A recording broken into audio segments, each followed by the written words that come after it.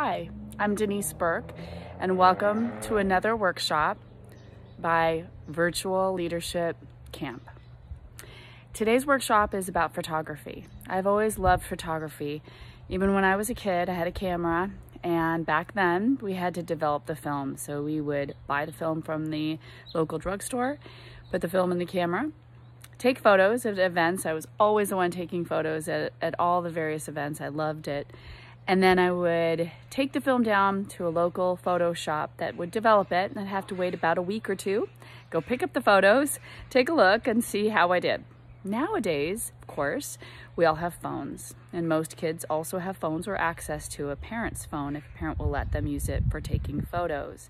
So today's photography workshop is appropriate for children and teenagers, so kids of all ages and adults can um, enjoy and practice taking good photos. So to start for youth ages 5 to 10, the activity I would suggest in starting to take photos is making it a bit of a game. It's also a great way either to learn something um, for the younger kids to learn colors.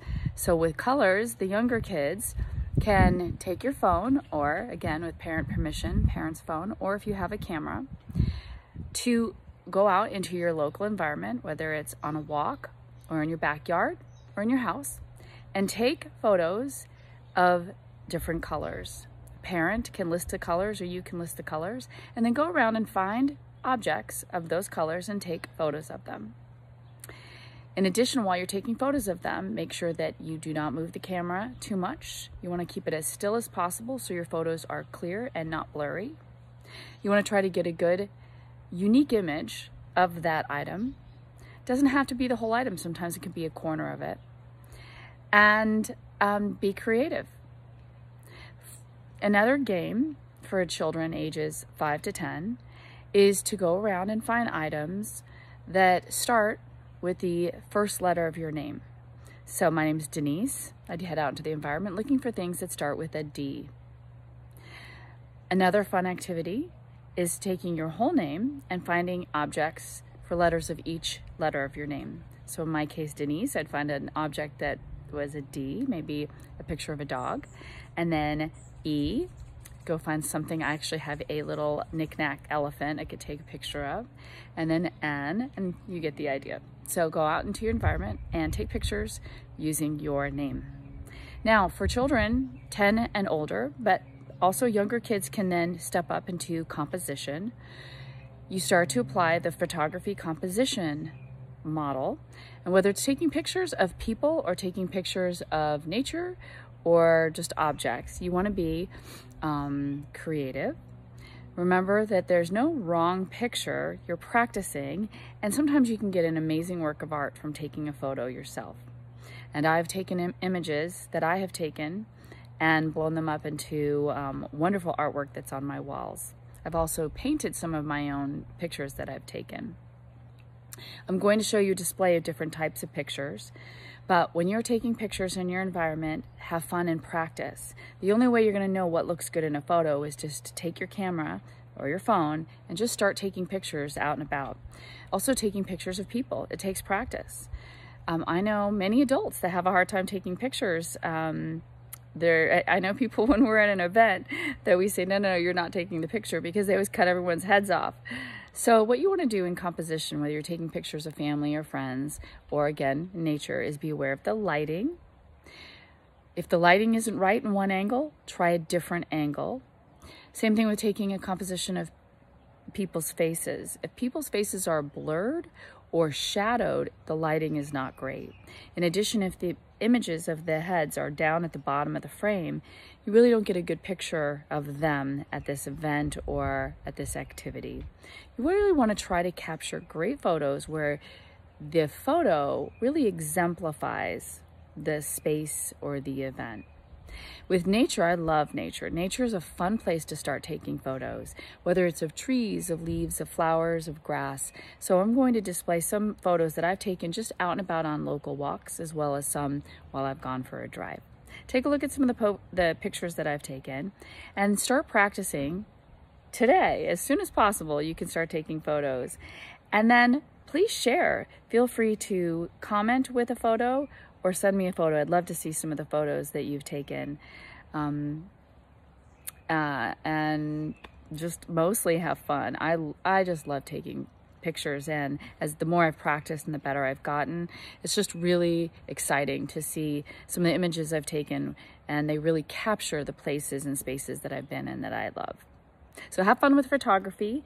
And again, no matter what age you are, you can get practicing and you can make it a game. No matter what age you are, you can also make it a game. If it means that you're getting out and practicing, you take a day and practice taking pictures of people in your family. You can take a day and practice taking pictures of pets. Um, and then you can certainly on your walk take a picture of nature.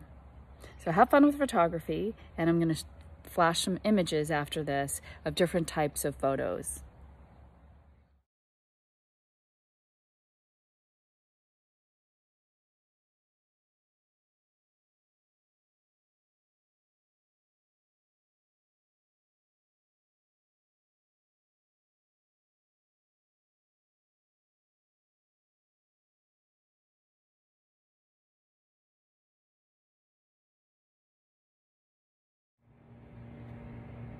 Hi again. So the last couple of photos that were shown were ones to demonstrate photos gone wrong.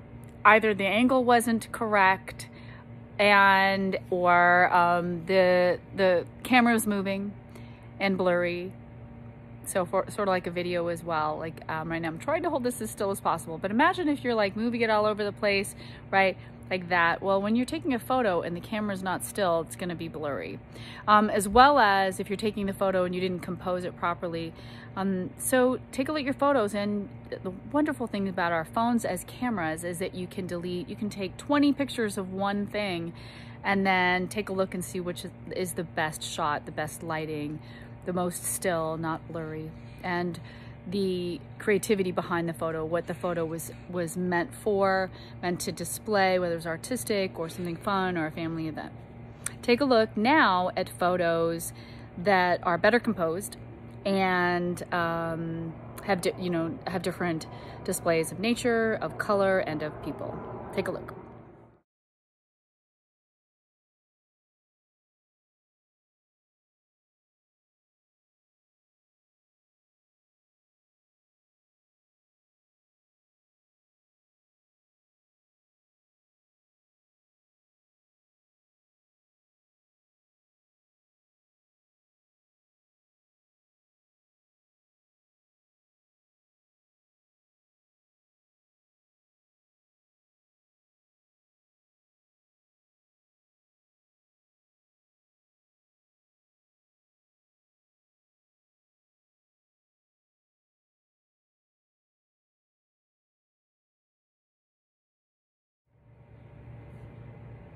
Take a look around at other people's photography. You can look online to get an idea of the kind of photography you like and the kind of photography that inspires you. You can also try to emulate some of that photography. That's wonderful because you can practice by using other people's inspiration to inspire you. In addition, um, I recommend that you just get practicing. So for this workshop, take at least 50 photos. Um, I would recommend 100, but let's start with 50.